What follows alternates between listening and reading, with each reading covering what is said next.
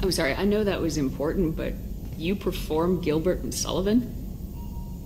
I am the very model of a scientist Salarian. I've studied species Turian, Asari, and Batarian. I'm quite good at genetics as a subset of biology because I am an expert, which I know is a tautology. My xenoscience studies range from urban to agrarian. I am the very model of a scientist Salarian.